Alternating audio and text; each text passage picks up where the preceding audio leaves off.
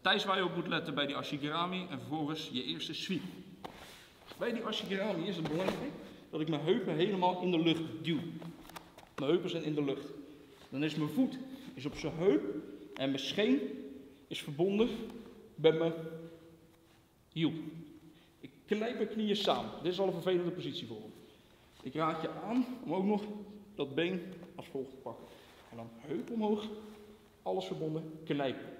Wat ik nu doe voor de meest simpele sweep, is ik draai mijn knieën naar rechts, naar buiten. En dan duw ik hem gewoon omver.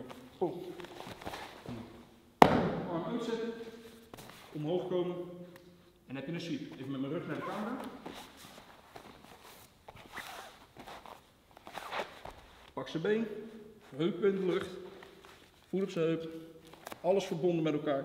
Knijp mijn knieën samen en daarmee zie je dat hij al uit balans raakt. Dat ik echt letterlijk een blok aan zijn been ben. Ik roteer mijn knieën naar buiten en ik duw naar achter. Duw. Arm uit, voet op, punten voor de sweep.